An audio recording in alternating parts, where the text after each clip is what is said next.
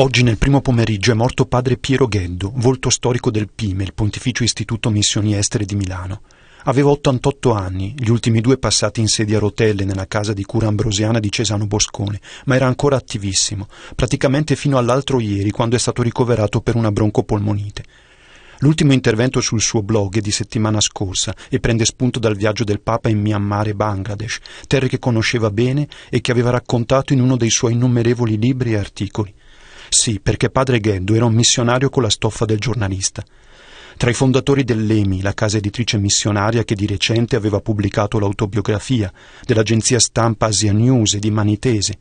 È stato direttore di Mondo e Missione per quasi 40 anni, dal 59 al 94, e collaboratore di numerose testate, l'Osservatore Romano, Famiglia Cristiana, Avvenire, L'Eco di Bergamo, ma anche rotocalchi per famiglie come Epoca e Gente originario di Tronzano Vercellese in Piemonte, entrò nel Pime alla fine della guerra e fu ordinato prete nel 53.